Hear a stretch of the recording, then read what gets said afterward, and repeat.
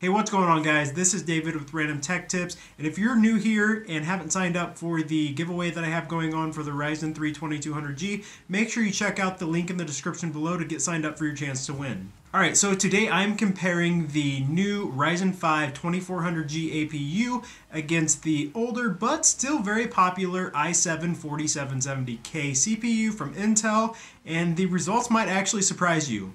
Stay tuned.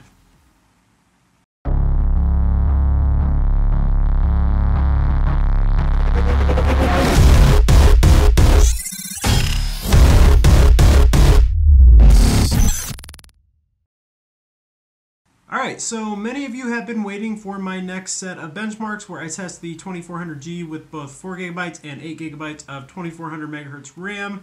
Uh, and I promise those are coming, but when I was getting ready to start those benchmarks, I noticed a few things when comparing the 2400G to my current workhorse CPU, the i7 4770K. First, the core and thread number for both the CPUs were the exact same, with both CPUs having 4 cores and 8 threads. And additionally, I noticed that the core and boost clocks were practically identical. Now, the Ryzen 5 2400G actually is rated at stock 3.6 gigahertz per second with a 3.9 boost clock, and the i7 4770K is only at 3.5 gigahertz per second with a 3.9 boost clock. However, that difference is pretty negligible, at least I thought it was.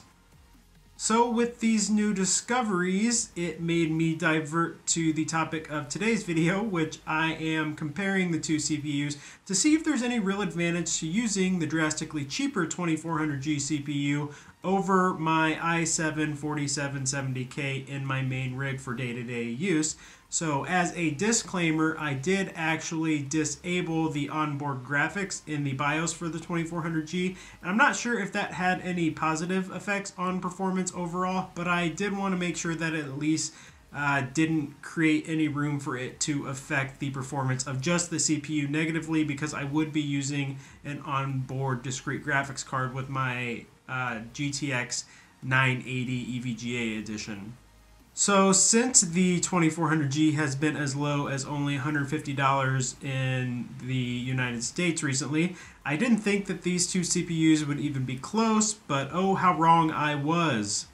All of the following tests I'm about to talk about were ran with the same EVGA GTX 980 graphics card like I said earlier, but obviously due to the generational and platform differences, the motherboard and RAM had to be different.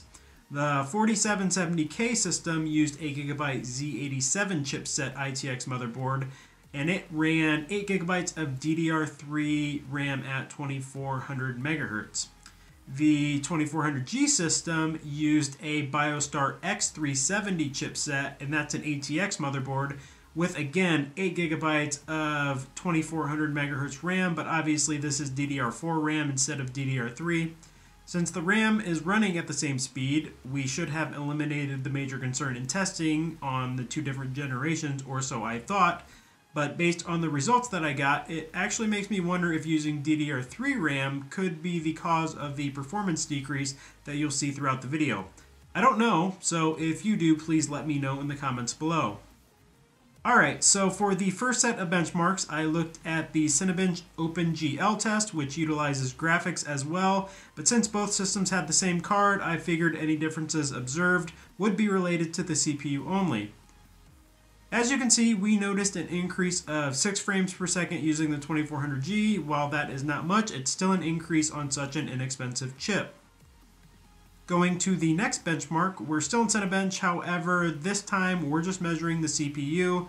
We see an almost 200 Cinebench score bump in the 2400G over the 4770K. And if you're not familiar with Cinebench benchmarks and how they calculate them, you can head on over to their website to see what all goes into that. However, a good rule of thumb is the higher the number, the better. Since I do a lot of editing in Premiere Pro, I was curious to see how both CPUs handled a 15 minute 1080p 60 frame per second clip in terms of render time. The i7 4770K finished the task in about 17 minutes, whereas the 2400G took only a little over 11 minutes. The next benchmark was the CPU Queen benchmark in AIDA 64, and the 2400G again came out ahead of the 4770K at 51406 compared to 47052. Again, think higher is better. Using CPU-Z, I measured both single and multi-core performance for both chips, and as seems to be the norm, the 2400G came out ahead by narrow margins. Realbench benchmarking software was next, and there were five different benchmarks within the suite that I tested. The first was the image editing benchmark, where again the 2400G narrowly edged the older 4770K. Uh, encoding is where we actually see a huge leap, uh, which when we compare this to our Premiere results, it makes a lot of sense that the 2400G scored almost double that of the 4770K.